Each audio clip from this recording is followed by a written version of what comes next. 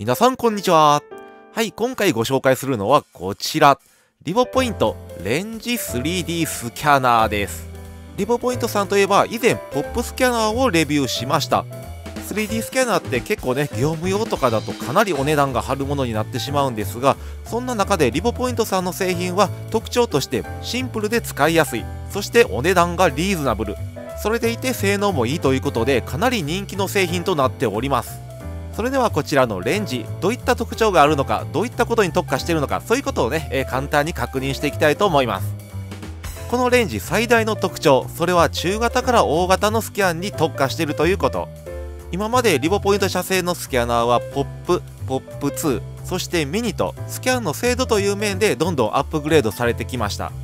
じゃあ最新機種のこのレンジさらに精度が上がってるのかというと実はそうではないんです。むしろポップ2やミニよりも少し精度が低めなんですよね。じゃああかんやんっていう風になるんですが実はスペック表のこちらを注目していただきたいです。このシングルスキャン範囲そして動作距離これが従来の機種よりも格段にアップしています。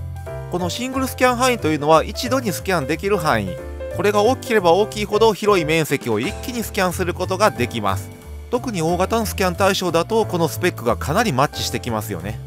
ちなみにこのスキャン範囲 POP2 と比べると約3倍あります。そしてこの広いエリアをスキャンするために対象とスキャナーこの距離をある程度空けていく必要があります。それがこの動作距離。こちらは POP2 の約2倍。今まで以上に一歩引いたところから広く見渡すようにスキャンできる。これがレンジの最大の特徴です。さあお待たせしました。では中身の方開封していきましょう。まずはスキャンマーカーそして粘着タックそして光を吸収するね黒いビニールシートです。スキャンマーカーは形状に特徴がなかったり左右対称の物体に貼ったりすることが多いです。そしてこちらがレンジ本体結構軽い。このように両サイドにカメラがついてますね。接続は本体背面 USB マイクロ B 端子。挟み込むタイプのスマートフォンホルダー。手持ちじゃなく固定スキャンの時に使える三脚。バッテリーハンドル。いやこれね撮影中かなり役に立ちました。PC と接続するときは PC 側から給電されるんですがスマホと接続して使う場合は取っ手の役割も兼ねているこのね充電式のバッテリーハンドルから給電します。特に手持ちでのスキャンはね長いコードが周りにあるとやっぱり煩わしいんでこれめちゃくちゃ楽でした。あとは USB の変換コネクタやケーブル類が付属していました。以上。さあではスキャンの方やっていきましょうといきたいんですがレボスキャンという専用ソフトをインストールする必要があります。ダウンロードはレボポイントさんの公式サイトから基本的には PC 版をダウンロードしていただいてスマートフォンと接続して使うよという方はそれぞれのねストアの方からダウンロードしていただくという形になります。スキャンデータの編集に使えるリボスタジオというソフトもこちらからダウンロードできます。もちろん編集はこれらのソフトを使っていただいても大丈夫。さあではまず PC とつないで固定方式でスキャンしてみましょう。スキャナー本体と三脚を接続します。スキャナー本体と PC 側それぞれを USB ケーブルでつないでいきます。まずはサンプルとしてこちらのスプレーボトルを用意しました。かなり大型のモデルではないんですがえ高さが約 20cm 横幅がね長くて約 9cm になります。ちなみに最小スキャンサイズは 50mm×50mm×50mm なのでご注意くださいあと今回のスタンダードセットには付属してないんですがこのようなターンテーブルがあると非常に便利これは以前の POP3D スキャナーに付属していたものなんですが、ターンテーブルなら他のものでも全然大丈夫。あと、スキャン対象とこのように壁がね、非常に近い場合は、付属の黒いシートが役に立ちます。このようにセッティングすると余分な場所のスキャンが極力抑えられるので、ぜひ試してみてください。さあ、それでは PC 版のレボスキャン起動しました。もしね、スキャナーの方が接続されていたら、スキャナーを通したカメラの映像が表示されます。そしてこちらのスキャンをクリックするとこのような設定画面が開きます一番上から精度に関してはちょっとね複雑な形状だったり小さめだったりする場合は高精度スキャン反対に大きくて単純な形状だとクイックスキャンでも十分かなという印象でした。そして次のアライメントこれね特徴とマーカーっていう風にあるんですがスキャン対象が左右非対称そして複雑なね形状だった場合は特徴。反対に形状に変化がなかったり単調だったりそして左右対称だったりした場合こういった時はね、えー、先ほどのマーカーをつけて、えー、特徴をつけてやると。そういった手法になります。もしね、え、マーカーのシールを貼っている場合はこちらのマーカーの方を選択してください。そしてスキャン対象。一般ダーク人体と3種類あります。もし人の体をスキャンするよという時は人体。黒っぽい暗い色の対象だとダーク。3D スキャンは暗い色が苦手なのでこれを選択することでスキャンの感度が上がって成功率が上がります。それ以外は一般を選んでおけば大丈夫。そしてテクスチャレンジはフルカラースキャンに対応しているのでカラー情報が欲しい方はカラー。形状だけでいいよという方は無色を選択。最後のアクセサリーはなしを選択します。さあ設定も終わったのでようやくここからスキャンに入っていきます。ただその前にチェックしたい項目がいくつかあります。特に重要なのが画面上部のこのバー。近すぎベスト良い遠すぎとあります。今ベストの場所に色が塗られてるんですがこれが近すぎたり遠すぎたりするとそこに色がつきます。これ何のことかというとスキャン対象とスキャナーとの距離。近すぎても遠すぎてもダメ。位置がベストになるまで場所を微調整していきます。これめっちゃ大事です。手持ちの場合はちょっと難しいんですがモニターを確認しながらベスト距離を狙います。そしてスキャン中もできるだけベストな位置をキープできるように動かしていきます。ただこれがねやっぱり慣れるまではなかなか難しいなので固定式のスキャンが最初はおすすめそして画面上にねこのようにノイズが入っている場合がありますこういう時は画面一番下のバーこれをね左の方に動かしてやるとはい、消えてくれました。これで余計なスキャンをすることがなくなります。ということで準備ができたのでスキャンスタートです。まずはスキャンを開始した位置、これをしっかりと覚えておきましょう。今緑で表示されている部分がスキャンされている場所なんですが、これね、えー、何周も何周もしてしまうと同じ箇所のスキャンが重複してしまって形状がいびつになってしまいます。基本的には一周回ってスキャン停止というのが表面がね、綺麗に出やすいんじゃないでしょうか。次は右のメニューから点群データの融合を選択します。するとこのように形状が少し分かりやすくなりました。ただ底やてっぺんのようにまだまだスキャンが甘い部分があるね。そういう時はこれをこうやって向きを変えてやれば OK。できるだけスキャンしきれなかったところがしっかりとね、えー、範囲に収まるように位置を調整しましょう。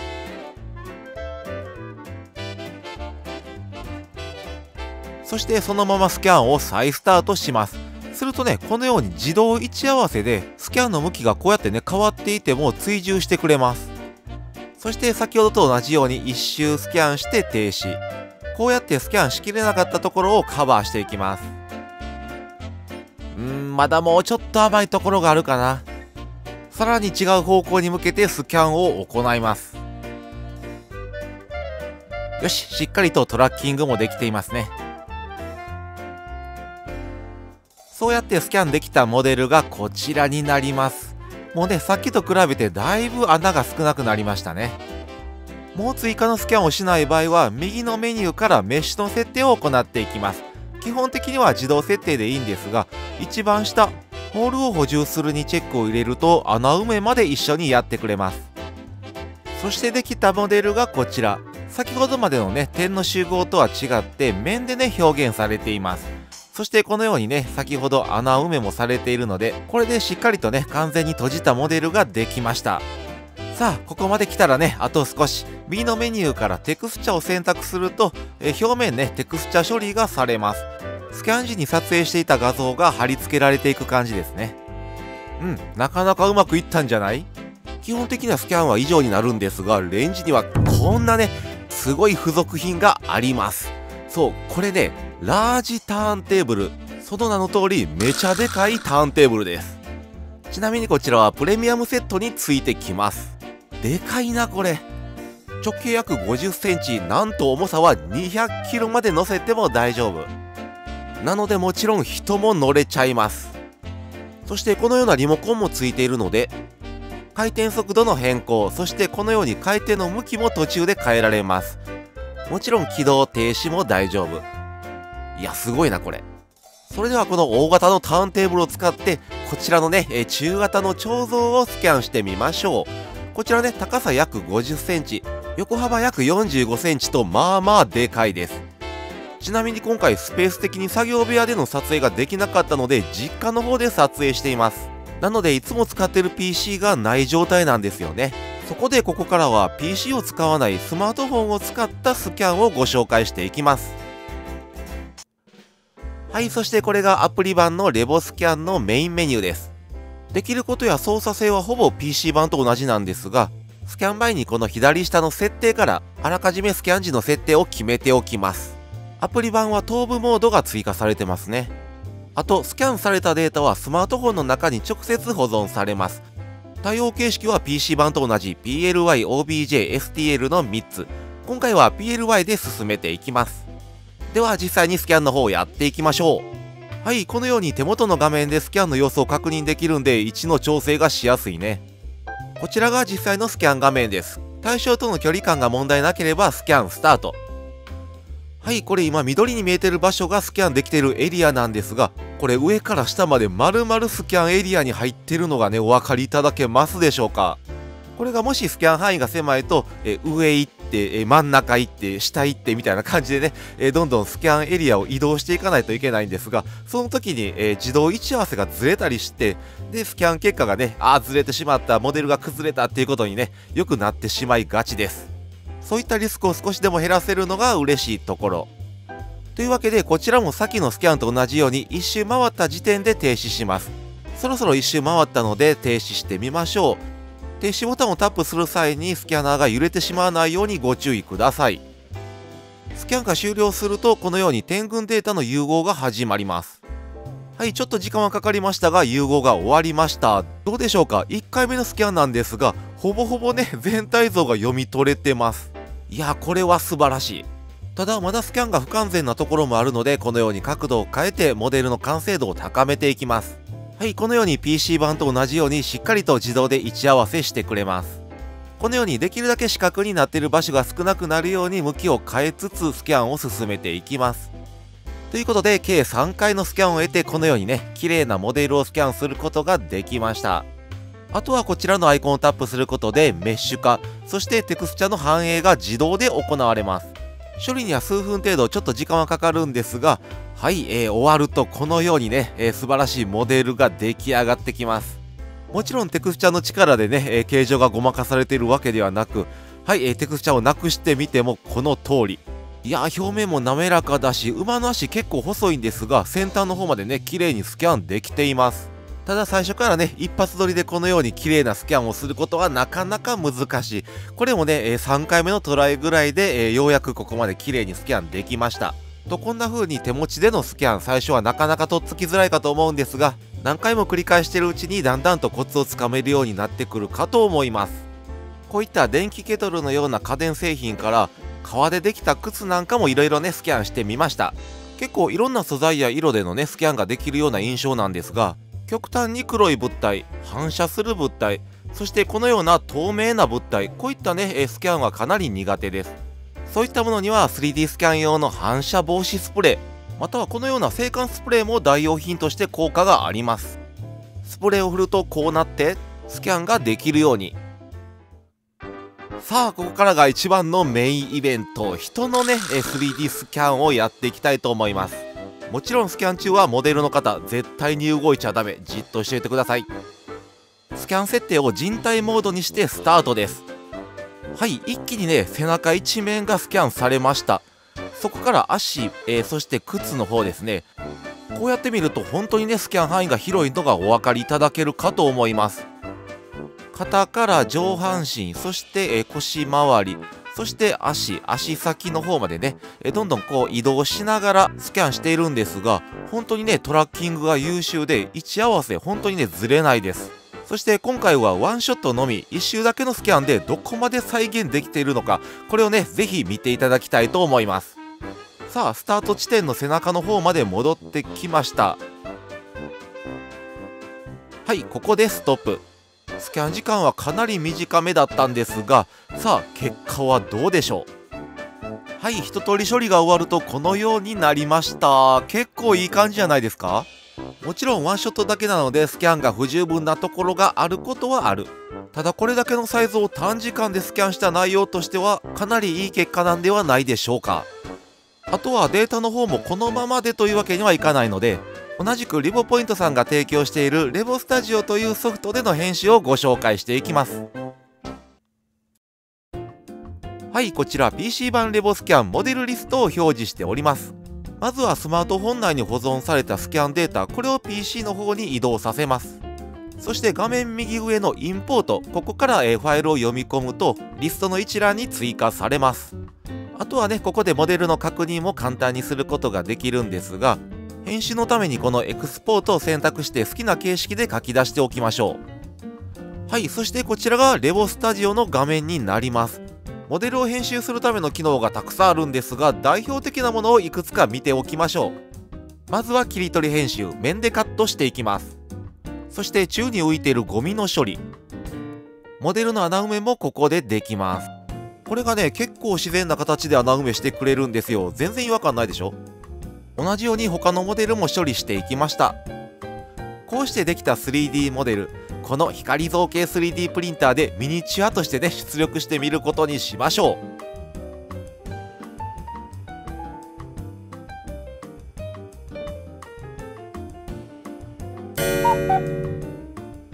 はい出力が終わりました。おこれはなかなかいい感じじゃないですか。できました。どれも手のひらサイズの小さいサイズになったね。これで約10分の1のサイズなんですがこれ実はゴミ取りと穴埋め程度しかしてないんですよね。他の編集ソフトで形状に手を加えたりとかそういったことは一切していません。そしてこちらのブーツサイズは約8分の1になっています。いやこうやって見るとほんと瓜2つ。シワの入り方も全く一緒。靴底の再現度もバッチリ。はいそして人体スキャンモデルがこうなりました。服のシワのね躍動感がすごい。全身 3D スキャンしてフィギュアのね作成代行しますよっていうサービスありますけどこれ家でできちゃうやん。